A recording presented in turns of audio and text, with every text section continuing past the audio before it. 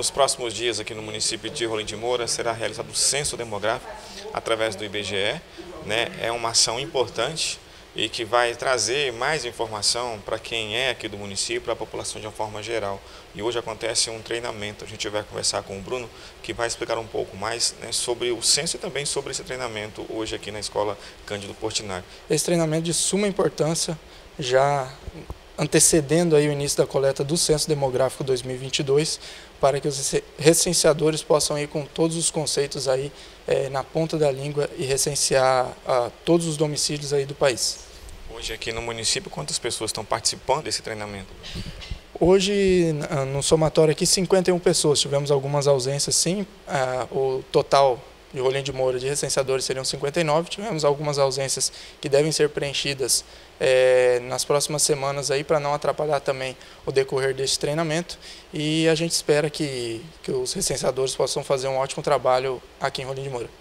Só para reforçar, a gente já falou sobre isso, mas, por exemplo, essas pessoas que vão para as ruas, elas estarão, estarão de uniforme, enfim, crachá, o porquê? Porque muitas pessoas têm medo de receber as pessoas em casa por causa do golpe. Vão estar caracterizados conforme esse colete aqui.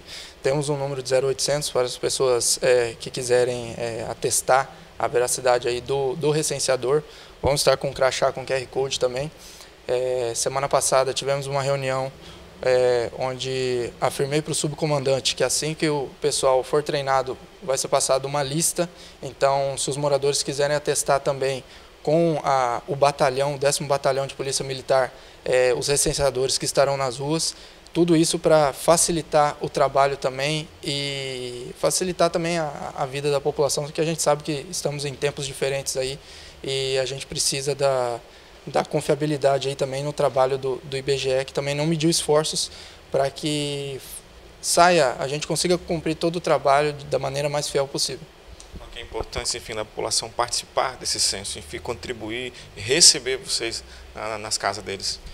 Bom, Mário, a, a importância do, do censo é primordial. A gente sabe que municípios e estados dependem de informações que vêm do IBGE, Muitas políticas públicas são através das informações do IBGE, ressaltando que o censo demográfico acontece a cada uma década e por conta da, infelizmente, da pandemia que, que nos pegou aí, é, o censo teve que ser atrasado em dois anos e então, através esses dados do IBGE vão ser fundamentais para o fundo de participação dos municípios, fundo de participação dos estados. Então, tem muitas políticas públicas que estão carecendo dessa atualização de dados da população, onde moram, como moram né, e como vivem todos esses moradores do, do Brasil. Cabe ressaltar que esse treinamento que está acontecendo aqui também está acontecendo país afora e a coleta que se inicia 1 de agosto se inicia país afora.